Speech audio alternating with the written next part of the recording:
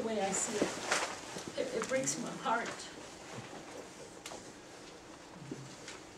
It's a federal law, but the state does not see it. I think we have, we have, we as the Navajo Nation, people have a right to protest to our state. Our people is being affected, we're just be, I keep saying, we're just being mocked. My people are being mocked. We're being made fun of. We're just a money-making business, that's the way I see it. But I really appreciate it if you guys would, would put some type of, um, comment to the uh, Arizona Liquor Board and, and say something on this, on, on our behalf. Just on the sh- sh- on, on, och based on det är den kitchen och Hans's case.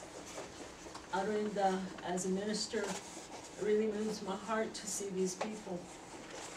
I know the answer, but it's, it's really hard to get around to some of these people. And I've seen years, my father, I buried, helped him bury a whole mess of our people due to liquor. Aron Hugando, Shishawan Hasado, his sister Twitsit Nisa, she, she, she became an alcoholic, destroyed her family. It happened to me, I lost a brother to drunk driver. I lost five family to drinking and driving.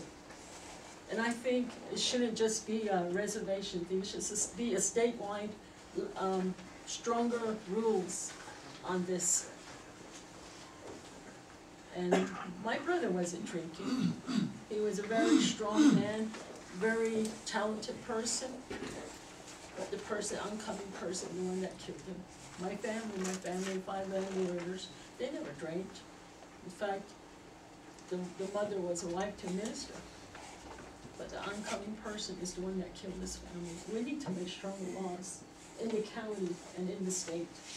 New Mexico has good laws. You to look at Utah laws. We have strong laws, and I think we should, we shouldn't just think about what's going on with Red Barn. I think we should look at it as a statewide. Do something about it to make stronger laws where, where, um, people are not being, um, affected by this and just say, okay, you know, here's, here's more liquor, I'm getting more cash. But in the areas of saying, no, you're drunk, you don't need any more, you need to go home and, and, and so forth. I think we need to, that's what, that's my, my views. I don't want it just a nationwide, a reservation I want it as statewide, putting in stronger laws and rulings and regulations on, on dispensing liquor. And, um, these are my views. And, and I really strongly believe in that. And I'm really the one that's pushing this. And I'm really glad the, the law and order has, has supported us and Navigiante has supported us. And I really lobbied with them, with the, um, asking them, you know, and to, to help us, and I'm really thankful. Thank you. Yeah, Okay, Nakashina. We have another person who wants to make a comment, Mr. Weller. You can answer. My name's Brad Brown. I just wanted to make a brief statement, and that's it. There's a fine line that government fulfills between individual responsibility and property rights, and I strongly caution, um, any letter that's written to refrain from any suggestion that would adversely affect the property value of a liquor license, because that could create some standing for legal action. So I just want you to make sure that you that look at that issue before you move forward and include that in the letter. Thank you. There's no one else, then we'll take a vote here. All in favor to, uh, disapprove the, uh, oppose the renewal of liquor license for Red Barn, say aye. Aye. Aye. Uh, That was not quite the motion, Mr. Chairman. Uh, We're moving the uh, county attorney to write a letter to Okay, I approve okay, good enough. Um, Request the county attorney to, uh, write a letter opposing the uh, liquor license. Say aye. Aye. Aye. Aye. Opposed? The ayes have it, three in favor, none opposed. Thank you, gentlemen. Okay. Item E.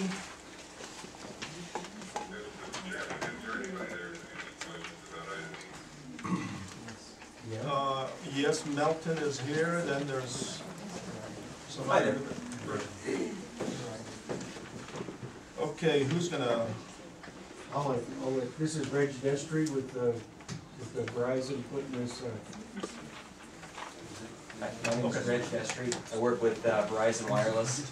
Um, We are proposing this uh, new tower along uh, 180, and uh, Mr. Allerton said there were a few uh, questions that had come up about the location since the Planning and Zoning Commission approval.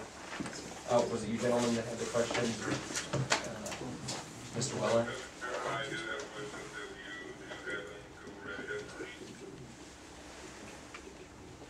Okay. Shall we get a motion first? Mr. Chairman, uh, go ahead and move that we approve, uh, it looks like the planning and zoning commission has uh, unanimously, uh, voted to approve the request, so I'll go ahead and move that we approve also. Okay, there's a motion that was made by Mrs. Shirley. Is there a second? Is there a second?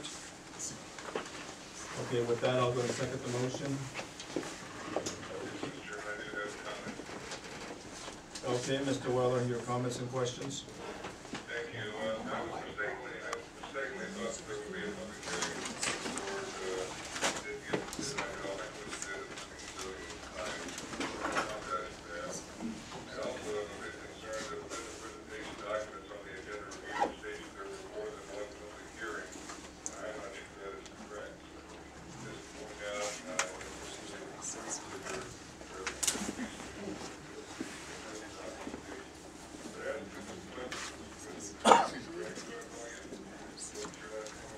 Destry. I'm sorry, say that again. Uh, My last name is Destry, Mr. My hearing is not once in a while, I'll just address you as sir. Uh, Sir, Thank I you. believe the building being placed here, which is not with all panels, uh, that are from my knowledge, allows for what's called the backhaul capability, is that true? Um, the, the building that's being placed here can support backhaul capability and also the actual coverage. The backhaul is, uh, either via a fiber, hard fiber connection or microwave connection. This will be microwave connection. There are also radios in there that are used, uh, to support the panel, the flat panel antennas, which are the ones that communicate with your phone, uh, your computer and other devices.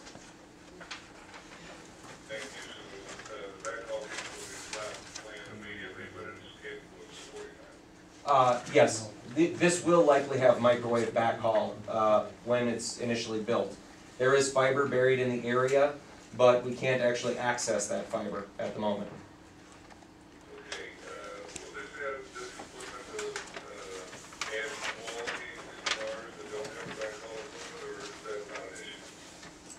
Um, this, this site will not impact backhaul at any other sites. Uh, this site will be a receive site from, uh, an existing site we have north of St. Johns, which we call Witchwell, which, uh, shoots, will shoot a microwave signal down to this site, which will allow it to operate, uh, cell phones. Thank you. I, uh, I would, would you speak to the issue of four G, whether this tower will support four G, will it know whether the tower support four G in the area? Um, yes, this site will be capable of, uh, four G, and in fact, the coverage map, uh, that was provided, I don't, I believe you have seen the coverage map, that was uh, solely for four G coverage. Um, that is part of the reason for the specific location of this site, is because, uh, the hole in the four G coverage that will be getting turned up, uh, is most prominent in this exact location.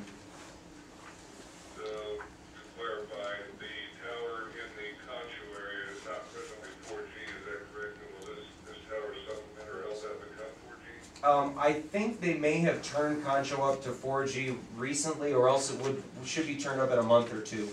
Um, this will help the four G coverage in the area, but that Concho tower operates independent of this one. But, uh, I believe it's either been turned on or will soon be turned on with the four G.